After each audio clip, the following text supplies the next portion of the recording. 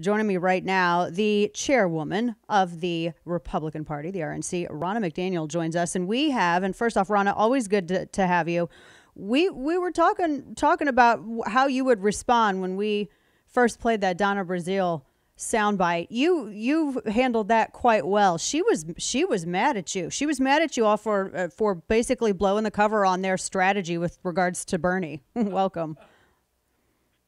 Well, as, thanks, Dana, for having me. Uh, yeah, we hit a nerve. Uh, we we uncovered her strategy. Of course, she's also a super delegate, so she's one of those who really wanted to prevent Bernie from getting the nomination. And I think, you know, there was a deal made with Klobuchar and Buttigieg, and who knows if Warren was part of it for Super Tuesday. They had settled on Joe as the anti-Bernie candidate, and uh, they wanted to make sure that Bernie didn't get that to the convention where the superdelegates would prevent him from eventually getting the nomination. Yeah, yeah, and and they have they really don't have any way I think to counter the president's message. I mean, he had a good town hall last night. He's he's been in Nashville to look at the devastation from the tornadoes. Been has been the, obviously the administration's been incredibly responsive, and here we already had more jobs that we've added just to our American economy uh, actually be above and beyond what the estimations were, and it's March. It's I mean these are this is all great news. I I don't uh, how how is the how is the Trump campaign? How is the Republican Party? How are they going to handle the different ways that Republic uh, that Democrats are going to try to counter these successes? I although I don't know honestly how Democrats are going to argue against a, a, good economy. I think the only thing that they're trying to uh, uh, create is some sort of drama with regards to coronavirus, which is why we've seen the lies that the administration cut funding to CDC when in fact it actually was increased. How how what are you anticipating, and how is the GOP going to counter that? Well, I don't think there's anything the Democrats won't do to win this election, and you see them spiraling right now. They're melting down. It's started since the beginning of the year when Nancy Pelosi ripped up the State of the Union. You saw Chuck Schumer go after our Supreme Court justices. Uh, they are so angry and so upset that the president is doing good things for the American people. So at the RNC, we have to prepare for that because they're going to be on the ground and they do have energy and they're going to stoke fear and they're going to try and divide our country because that's how they win. Uh, and we're going to talk about the accomplishments that this president has put forward for the American people on deregulation, on more jobs, on wages up. And that's why we're already in 23 states. We're registering voters. We're getting our ground game ready. We've had the benefit of a head start as the Democrats fighting for that nomination. So we get to start these one-on-one conversations with voters and share with them the things that they don't hear on the mainstream media. Yeah, I, well, and and that's it's working because just I, I was just looking at the numbers here in Texas and turnout for the Republican primary that what the what the president ended up getting was a lot more than what we what we ended up seeing coming out for Democrats.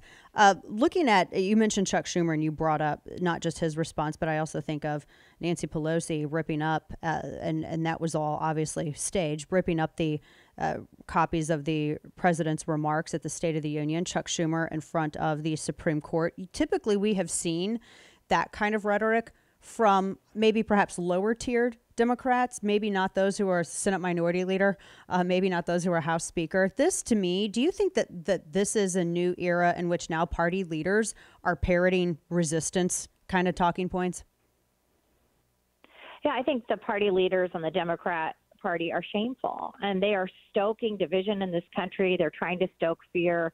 Uh, let's not forget, as they were running this impeachment hoax because they couldn't accept the results of 2016, the president's the one who said, We're going to stop travel from China with this coronavirus and prevented it from spreading further. The president's the one who said, we should know who's coming in to our southern yeah. border and all our borders. And they said he was a racist for, for this. reasons. Yeah. Yeah, and they said he was xenophobic and racist. I mean, everything the Democrat Party stands for right now is resist, obstruct, but also divide. And they use fear, and it's shameful for our country. And the president last night was so spot on when somebody said, you know, can you stop your Twitter? And he said, no, because I'm going to fight back. And that's what I'm going to do because he's not going to let them continue to push this vitriol in this country. And he was laughing and he's fun and he was fantastic. And the crowd responded. And by the way, the campaign didn't get to put that crowd in there. That was an organic crowd. And they were so supportive of this president because he's delivering for the American people. And the results will trump this nasty rhetoric and division and negative outlook that Democrats are putting forward for our country. Yeah, the the outlook that they're putting out there doesn't match what people are experiencing at home. It doesn't match what they're experiencing in their in their bank accounts either. And uh, uh, just the, I, I wanted to, to to ask a little bit about just some of the coronavirus response. The president put together a task force. This was like what, beginning of January, I think. And the initial reporting on the task force that he had assembled was that oh well let's let's look at all these people. Instead of looking at their merits let's look at what identity boxes are checked and let's make a story out of uh, a lack of our perceived uh, diversity etc when i mean ultimately you want to have the most qualified people whoever they are on the task force. And then it's like now they, they it, it just seems as though the the new narrative is well he hasn't done anything to respond to this and this took the administration completely off guard. How difficult are you finding it to actually get the facts through to the American people? Because I feel like the American people, a lot of people have a lot of questions that the media is simply not providing answers to because they want to politicize this issue. Yeah, I do think at first the Democrats uh, seized on an opportunity to try and politicize this issue and, and stoke fear. And I think the president immediately starting these press conferences, appointing uh, the vice president and really communicating with the American people. The news networks had to take that. So putting Dr. Fauci up, making sure that questions are being answered and they're talking about things on a regular base, basis. The president's going to the CDC today, and the fact that the president's out traveling and, mm-hmm. and he had a rally on Monday and he talked about still shaking hands. Just trying to make sure that you calm the fears, give people the right information, wash your hands, be careful. If you feel sick, stay home. All the things that you want to know that are important but also not to overreact. Um, and Democrats tried to make this a political issue once again, and I think that's really shameful. And and if you really look at the origins of this, the president was in the lead saying, "Let's stop this travel and stop airline travel." and the Democrats called him a racist for doing it. Yeah. Do you th- do you foresee the the administration pr- maybe pushing more restrictions, further restrictions, if the outbreak uh, continues to spread. I think that there was one reported case now in Indiana. If the outbreak continues to spread, what all is what all is the administration prepared to do to to keep that contained?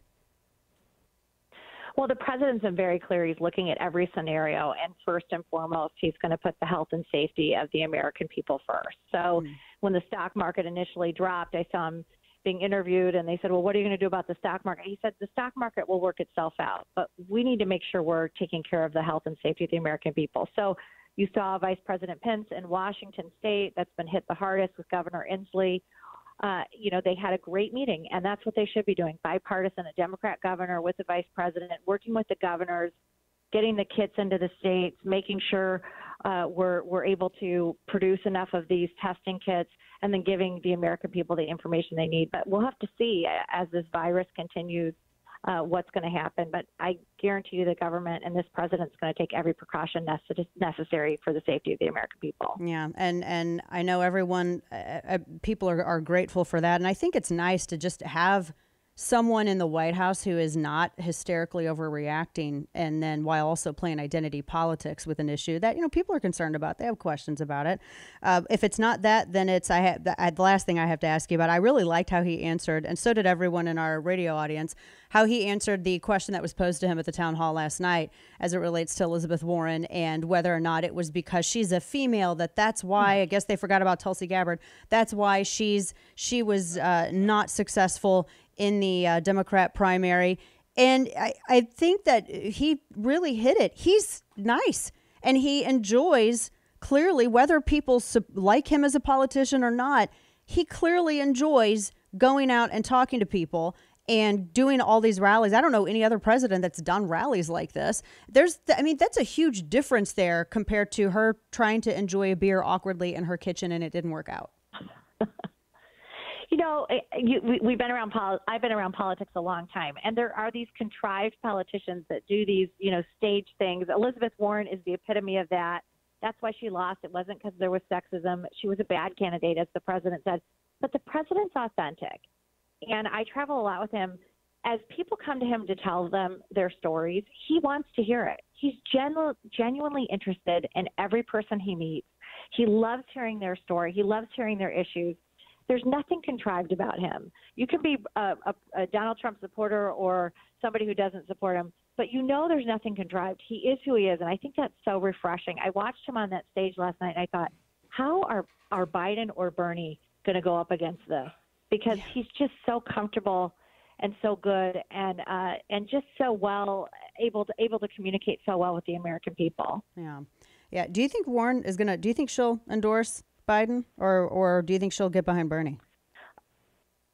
I don't think she's going to endorse Bernie. I just don't. I, you know, I, part of me thinks that she and Biden, she stayed in for Super Tuesday, so she mm-hmm. can help Biden. I really do. I think she's not liked Bernie. There's been, um, you know, bad feelings there. It's been very clear. Mm-hmm. Uh, she stayed out of the 2016 primary. She didn't endorse in 2016 until Hillary clinched the nomination. I could see her staying on the sidelines, but I wouldn't be surprised if she supports Biden if uh, if he offers her something in his administration that he's never going to get because we're going to beat him. But if he makes some type of offer and overture, well, he might forget he's running in that one though. So it, it might be he might he might think it's the he's. I cannot wait for the debate, and I know a lot of other people are are excited to because uh, I think I think the president will do well. Ronna McDaniel, always such a pleasure to talk with you, and uh, appreciate what you do and your strong voice out there. Thank you so much for joining us.